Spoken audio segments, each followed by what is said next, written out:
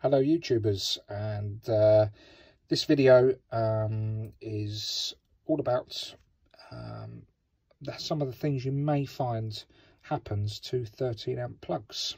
Um, this plug was luckily picked up by me uh, when I was PAT testing and as you can see there's been um, a massive build-up of heat inside that plug uh, which has caused basically the, the side of where the plug top meets the plug to completely disintegrate and melt.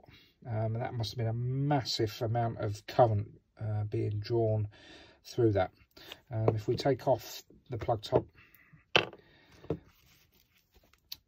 you can clearly see inside um, around the live terminal and around the fuse holder, there's been a massive uh, build-up of heat and also it's caused the plug to also melt the um, earth pin uh, holder where the earth pin in. Neutral pin looks okay, neutral terminal looks okay, but certainly around the live you can see there's been a massive build-up of heat. You can see that from the, the discoloration as well of the fuse holder. Now, uh, one possible reason for this is um, there may have been a fault with the appliance. Now, this particular um, fault here um, on this plug has probably been left um, and not noticed for some time. Um, and there's just been a constant build-up of heat either for a couple of days, um, weeks or even months.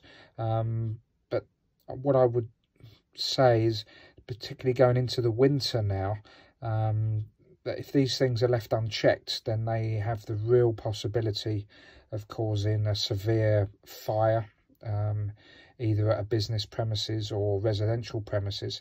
If this particular heater had been forgotten to be turned off, say on a Friday evening, and it had been left on all weekend, um, there's uh, I dread to think what could have happened here. There could have been a very nasty fire. In this particular item, um, the fuse was still intact the appliance was still on and drawing current.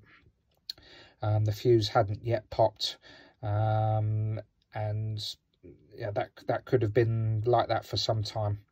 Um, so obviously I've, I've chopped the cable here, just brought this home so I can uh, do a video, but I've um, told the duty holder to dispose of the heater straight away. Chances are might have been a fault with the heater might have been something shorting out in the heater which is causing a um, a large amount of current to be drawn th through the plug. Could have been a loose terminal on the uh, live or the neutral pins.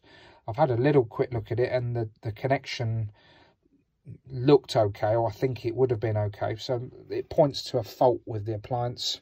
So I've just made sure that the duty holder has um, disposed of that straight away. So I hope that helps and uh, keep a lookout for these.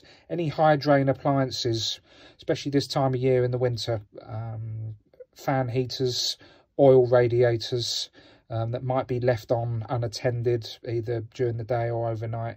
Um, and also things like ovens and um, cookers in uh, in properties.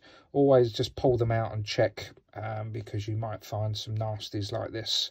And uh, you should be able to uh, avoid some accidents. So i hope this video helps. Please subscribe to my channel and uh, please leave a comment if you have any questions